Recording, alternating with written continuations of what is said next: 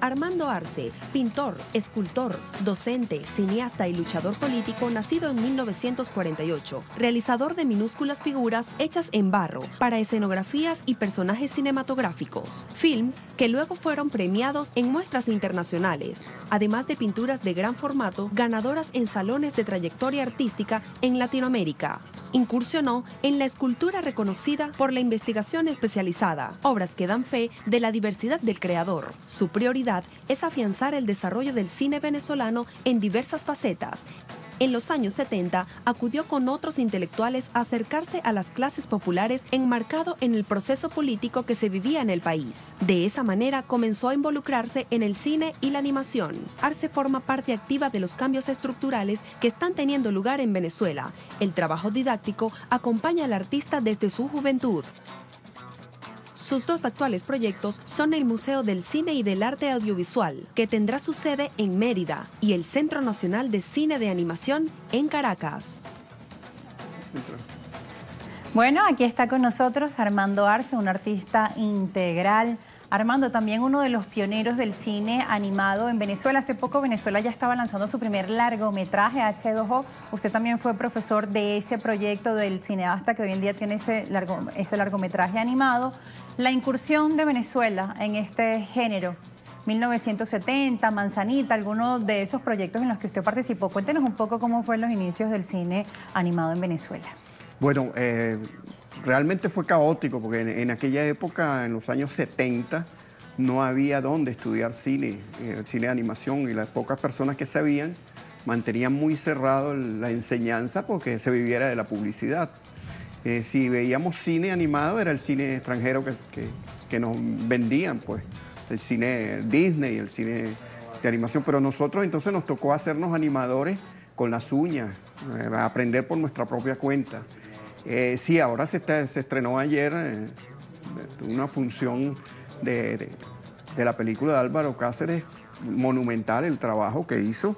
Eh, él dice que yo soy su profesor, pero realmente ellos aprendieron de las primeras películas que se hicieron en este país, porque no, no habían institutos. Yo para los años 70, finales de los 70, fui a Mérida y fundé el departamento de animación en el lo que era el departamento de cine de la Universidad de los Andes. Y recuerdo que me preguntaron sobre si yo sabía animación, y yo no, yo sé mucha animación, pero realmente nosotros sabíamos era por pasión, no, por, no porque hubiéramos estudiado cine animado, sino nosotros somos autodidactas. Y así todo, entonces iniciamos lo que es el, cine animado en, Venezuela a partir de la investigación autodidacta, ¿no? Y eh, eh, investigando, investigando y leyendo, porque no teníamos ni siquiera las posibilidades del Internet. En aquella época. Y algo que resalta en su currículum es ese trabajo autodidacta. Usted es un artista integral, pero también su formación, aparte de lo académico, también inició con mucho de aprender haciendo, esa forma autodidáctica. ¿Qué consejo le da usted a las personas de nuestra audiencia que tienen tantas inquietudes en materias artísticas? ¿Cómo concebir, cómo crear, qué poder hacer para expresar de forma artística su trabajo, sus inventos, creaciones y cómo aportar así a la comunidad? Bueno, lo que trato de, inculcarle a, los jóvenes, porque, bueno, yo soy ahora profesor, digamos, eh, honorario en, UNEARTE, y en donde siempre trato de enseñar, pero trato de inculcarle esa necesidad y esa posibilidad que hay de aprender haciendo.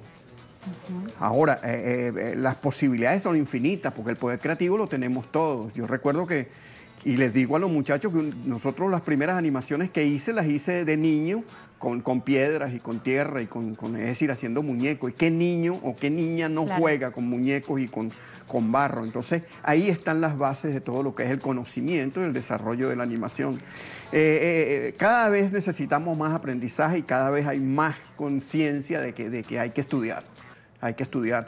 Yo no, no poseo conocimiento, no hice estudios académicos, pero sí estudié mucho. Claro.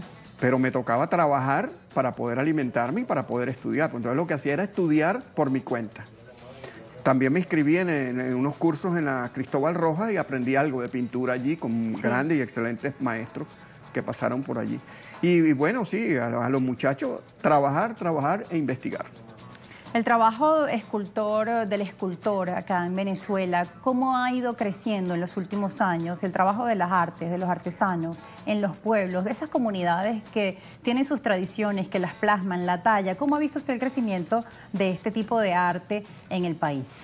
Bueno, impresionante. Impresionante no solamente por la creatividad de nuestro pueblo, sino el incentivo que se le ha hecho a este país para que, para que los artesanos mismos, para que las comunidades desarrollen sus propias creatividades. Impresionante. Hay, hay, creadores audiovisuales de Venezuela es, es una, una muestra de, lo que es realmente la creación de un pueblo que quiere hacer.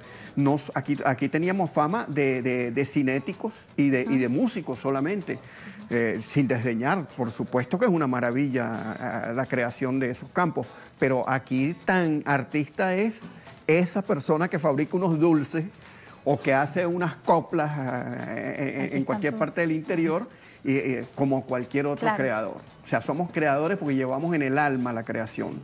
Aquí tenemos uno de tus trabajos, creaciones artísticas, tallas, incluso con material de desecho, ¿no? O sea, no hay barreras para el creador, para el artesano, cuando quiere expresar eh, algún sentimiento, algún mensaje. ¿Qué quieren expresar tus obras? ¿Qué buscas transmitir? Bueno, yo lo que quiero transmitir es la real eh, eh, esencia de lo que es el ser humano, de lo que es, de lo que es el venezolano. Todo artista intenta recalcar sobre algo. Nosotros somos un no somos un país, somos un continente de creadores, somos una cultura que se expresa en todas las manifestaciones artísticas de nuestros pueblos mm, originarios. Nosotros somos creadores y llevamos esa creación en la sangre, en el alma. somos pueblo creador, pueblo latinoamericano. Ya para cerrar, tienes actualmente eh, preparando una nueva exposición. Cuéntanos de qué se trata. Está relacionada con el cine, leíamos. Sí, bueno, yo cada vez hago menos cine porque no, puedo, no puedo hacer cine, es muy caro en este momento y este, le dejo a las nuevas generaciones como esta de Álvaro Cáceres con la, misión H2. H2 y este, me dedico más al trabajo escultórico. Estoy preparando ahorita, ya terminé una secuencia de escultura sobre un homenaje al cine. Ahorita estoy haciendo un trabajo gráfico, creativo, a mano, con, con grafito, sobre los constructores del cine venezolano.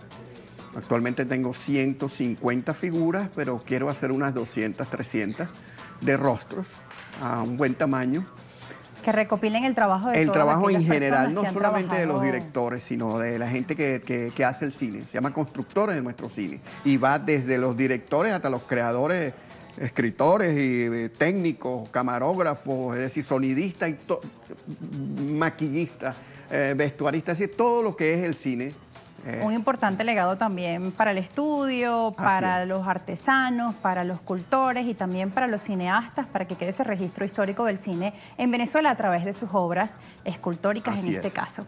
Bueno, es momento de cerrar nuestro programa. Recuerde que usted tiene nuestras cuentas en las redes sociales, Somos Telesur, tiene mi cuenta arroba Rosa Telesur y también nuestro canal de YouTube Somos Telesur. Hasta pronto, hasta una nueva edición. Muchas gracias al escultor, pintor, cineasta Armando Arce por acompañarnos y darnos este mensaje también para todos los cultores, creadores, artesanos en Latinoamérica y en el mundo. No hay límites para crear. Muchas gracias. gracias y gracias